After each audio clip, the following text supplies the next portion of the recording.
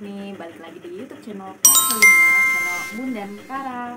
Uh, udah lama banget Bunda nggak konten, nggak bikin video gitu teman-teman. Kalian apa kabar? Uh, jadi uh, apa sayang? Udah. Ya udah duduk. Ya. Jadi uh, sebenarnya kemarin Bunda itu nggak bikin konten ataupun nggak nggak upload video gitu teman-teman karena Bunda ini lagi recovery. Jadi kemarin tuh Bunda sakit kayak gitu. Hmm, nah.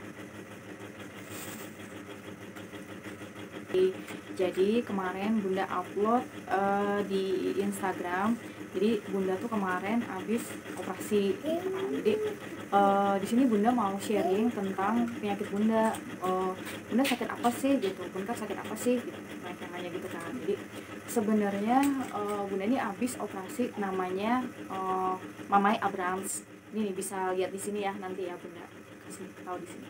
Apa sih Mamai Abrams penyakit apa sih? Itu gitu. Jadi eh, Mamai Abrams itu adalah penyakit eh, kelenjar ataupun eh, bisa dibilang tumpukan lemak gitu yang adanya di ketiak. Jadi Bunda ini operasi di ketiak kanan dan ketiak kiri jadi itu sebenarnya berbahaya nggak sih? Sebenarnya Mamai Abrams itu nggak berbahaya dan eh, itu udah dicek ke laborator ke apa namanya laboratorium ya. Udah dicek ke laboratorium jadi eh, sel jaringan bunda ini yang setelah dioperasi itu loh. Nah itu tuh udah dicek ternyata itu enggak eh, berbahaya. Jadi nggak berkembang lagi ataupun tidak ganas gitu lah ya tapi eh, itu tuh karena emang punya bunda tuh kayak udah besar banget segini besarnya se kepelan tangan bunda gitu kan itu udah lumayan besar dan berat. Dan kalau misalnya bunda kecapean itu bunda ngerasa kayak pegel banget gitu. Eh, dan sebenarnya faktornya apa sih gitu kan? Pasti kalian banyak yang nanya juga kenapa sih kok bunda bisa sakit kayak gitu? Bisa ada kayak benjolan di ketiak gitu. Nah jadi kenapa bisa adanya? Karena memang ternyata aku itu ada faktor genetik yang sejak eh, dari lahir tuh udah ada gitu. Jadi eh, sesuatu yang ada di dalam tubuh dan itu bisa berkembang. Contohnya kan aku pernah operasi angkat kista tuh 2016 dan eh, ha- tahun 2022 bulan Desember aku operasi mamai abrans atau ada benjolan di ketiak kanan dan kiri. Jadi mamai abrans itu adalah eh, kelenjar yang tadi aku bilang ataupun bisa dibilang tem- eh, tumpukan lemak yang ada di ketiak kanan dan kiri. Karena eh, kelenjar itu kan kalau misalnya kelenjar biasa itu kan adanya kayak di leher ataupun di ketiak di lipatan gitu. Nah, sementara kalau mamai abrans itu adalah kelenjar susu. Kelenjar susu yang tumbuhnya tidak seharusnya. Nah, dia posisinya ada di segitiga ini nih, dari mulai selangkangan sampai dengan ke ketiak seperti itu.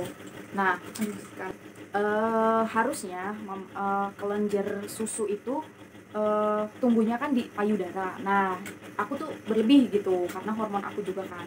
Nah, aku tuh tumbuhnya di ketiak. Nah, biasanya itu tumbuhnya memang antara kanan dan kiri ataupun keduanya. Dan di aku tuh Mame Abrans itu tumbuhnya di keduanya, di kanan dan di kiri seperti itu. Dan karena eh, size-nya sudah besar si jaringan itu, makanya itu udah harus diangkat seperti itu.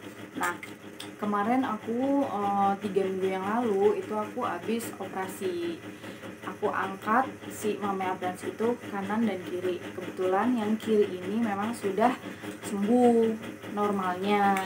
Dan yang Bunda.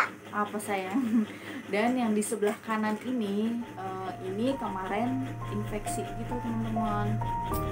Sedih banget sebenarnya aku karena sampai sekarang juga masih eh, perawatan dan ganti perban yang rawat aku adalah ibuku jadi neneknya si Kara. Terus eh, setiap hari itu harus ganti perban kayak sehari dua kali. Sekarang aku diresepin sama dokter obat eh, namanya eh, aku lupa deh nanti aku kasih lihat ya. Itu ditetesin gitu biar jaringannya tumbuh.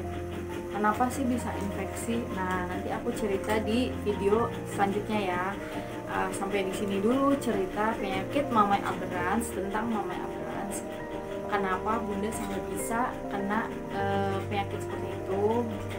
Itu teman-teman jadi hmm, yang bunda udah sering bilang kita sebagai perempuan memang harus aware dengan hal yang seperti itu.